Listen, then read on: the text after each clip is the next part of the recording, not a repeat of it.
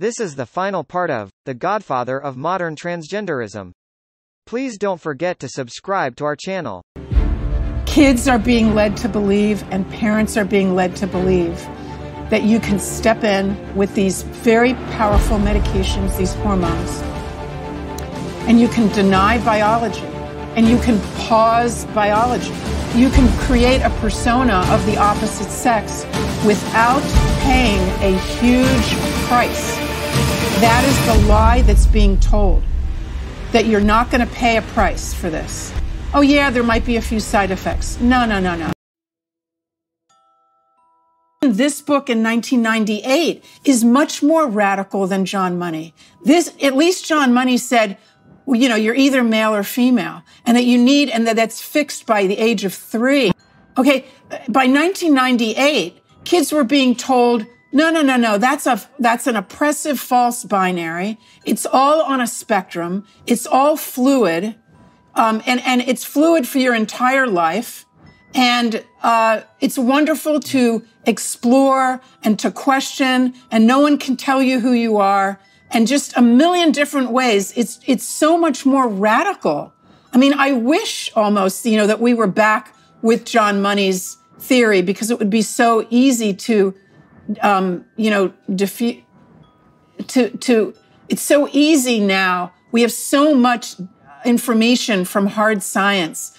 In fact, if John Money were living today, he could never, he, he, he could never get published with such a theory that he had about gender and biology. I mean, it, it, it, it's ridiculous. We have too much information about the impact of the chromosomes uh, prenatally and uh, you know the, the the the impact of hormones. So we we know now that men and male and female, you know, it's not only different genitalia, uh, not only what John Money pointed out, you know, lactating and menstruating. We have each cell in our in our in our bodies, except for cells that don't have a nucleus, which are very few. But every cell that has a nucleus is stamped male or female, and it makes a difference. Right. Okay, so there's a mm-hmm. female heart. You know, the, the, the, we know now in cardiology that when it comes to, for example, arrhythmias, there's a difference in the type of arrhythmias that a woman might get as opposed to a man. There's a difference in the way that a woman who sustains uh, a very a very difficult burn, how her body might react to it as opposed to a man. And this is true for every system. Right. Well, the thing is, kids are being led to believe, and parents are being led to believe that you can step in with these very powerful medications, these hormones, and you can yep. deny biology and you can pause biology. You can create a persona of the opposite sex without paying a huge price. That is the lie that's being told mm. that you're not going to pay a price for this.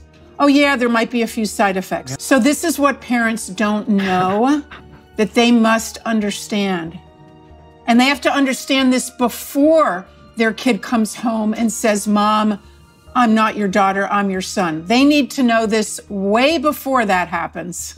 First of all, let's look at the numbers just in the past five years, 10 years of this explosive growth of uh, individuals who are coming in for treatment for gender dysphoria.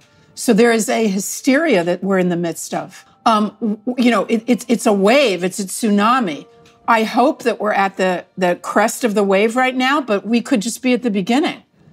I mean, sim, you know, just 10 years ago, we had rates of, you know, one in, in 10 to 30 to 100,000 people w- w- with, with this particular disorder. We didn't even have numbers. It was so rare, let's say 20 years ago, it was so rare for a teenager to present as opposed to a little kid or an older person. And they were rare. But it was even more rare for an, for an adolescent to suddenly come out with this new identity and with gender dysphoria. So um, those people were so rare just 10, 15 years ago. And now we have studies showing, you know, 10%, 20% of a high school class in an urban high school might identify as not being male or female. So I don't know where this is going. Right. Is, is it, you know, is it going to 40%? Um, that's why parents have to be aware of this. I would also say, uh, in, in terms of fear monger, you know, the charge of fear mongering, and it's really only a minority of people who are going to suffer. Um, we have no data whatsoever to support that, no long term data whatsoever. The data that we do have shows us that the, the regret uh, over this, you know, massive life change and these surgeries might take eight to 10 years to develop. And, and, and, and I would add that not only does it, does it take time to develop, it takes time to acknowledge it and to come out with it publicly. And the research that we do, those people yep. that regret it, they're not going back to the clinics and telling them. There's no one keeping the statistics on them. They're not coming back to their doctors. How, how did you do this to me? They can't sue. It's too late. I've paid a price. Oh, I've certainly paid a price. Uh, years ago, when I worked at UCLA, uh, my first book came out in 2008 called Unprotected, and I challenged the political correctness of what was going on in that student health clinic. Oh, I was, I paid a very heavy price. I was shunned. People who I thought were my friends stopped talking to me. After 11 years of very high, you know, positive uh, annual reviews of my work, suddenly after my book came out, I got a negative review. And eventually I had to leave. My parents were Holocaust survivors.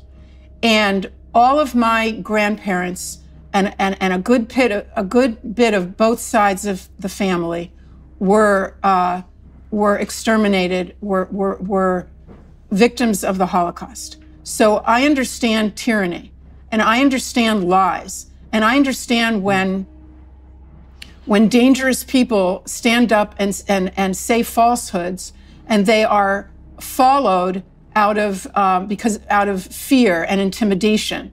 I understand that too well. And I would say the other reason is that I'm a person of faith, deep faith, and I believe that there are um, that there are eternal truths, and I believe that part of why I'm here in the world is to stand up in my in my small way when it, when I can to stand up for truth and to um, protect especially young people and their families, from this terrible darkness of lies. We hope you liked this series. Please share and subscribe to our channel so we can continue bringing you interesting content that you enjoy.